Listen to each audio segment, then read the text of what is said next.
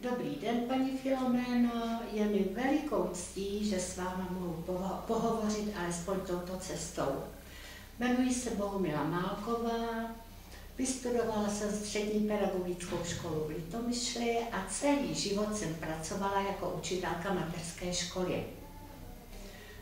Provdala jsem se v 21. První dítě se mě narodilo, když mě bylo 25 roků. To byl Pavel, který pracuje jako řidič s maturitou. Potom byla dcera Jana, inženýr ekonomie, vystudovala v Praze a náš třetí drobeček je Josef a živí se jako barman.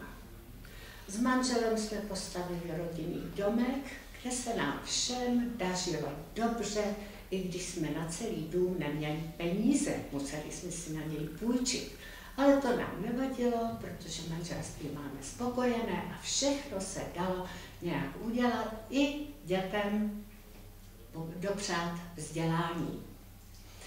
Žiju ve Žďáře nad Sázavou, je to město nevelké, ale je umístěno nebo vyrostlo nám v krásném prostředí Vysočiny, v prostředí lesů, kopců, řek a rybníků, ale to není všechno, máme tady hodně obchodů, je tady továrna a prostě je tu všechno, co lidé potřebují. Je nás tu ale taky hodně důchodců, protože ta továrna tady vyrostla před 50 lety, no a za těch 50 roků už jsme všichni zestárli. Já ráda použiju vaše vyjádření ve filmu a řeknu, že stáří potřebuje činnost. Aniž bych věděla, že mě to někdo nešeptá, tak se sama snažím. Jako důchodce píšu a vydávám knihy, kreslím, maluji, no a zabývám se vším, co se co mě, co mě naše město poskytuje. Čtu, chodím do knihovny, zúčastňuji se různých akcí, no a samozřejmě se, se taky zajímám o to, co se děje venku. Venku znamená za našimi hranicemi. Ráda jsem shlédla váš film o Africe, i když se přiznám, že pro nás v Čechách nebo v Česku to není zrovna nic moc nového.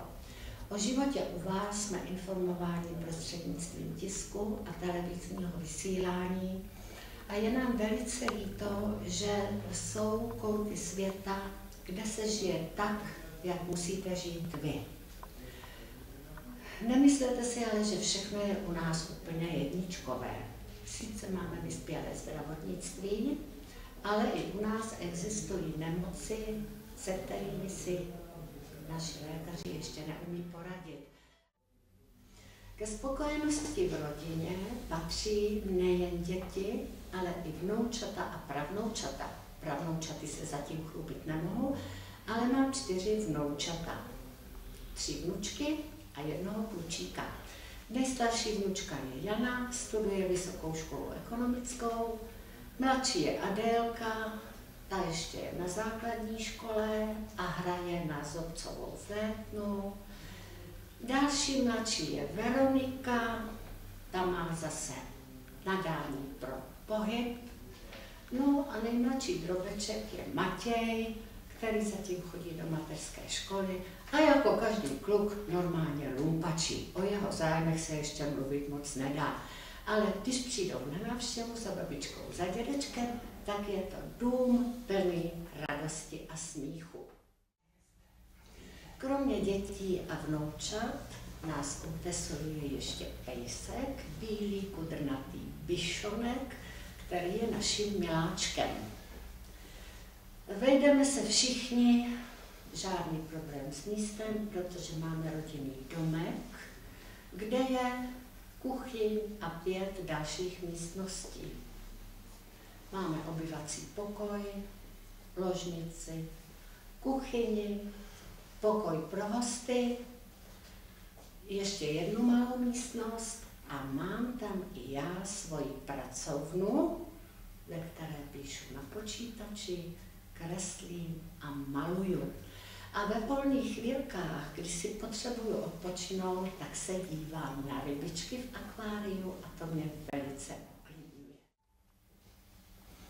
Samozřejmě město organizuje i akce, které se týkají seniorů, ale na které chodí i mladší ročníky. Jsou to různé vycházky, divadla.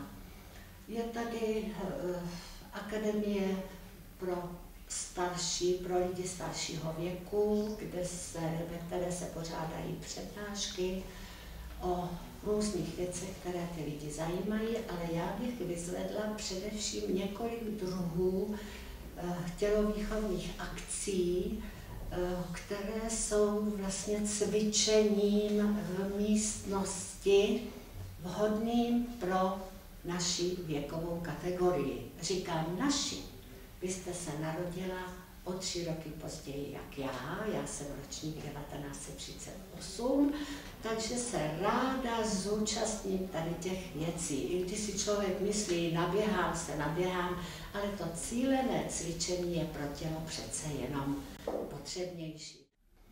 No a co vám mám, paní Filomeno, říct na závěr?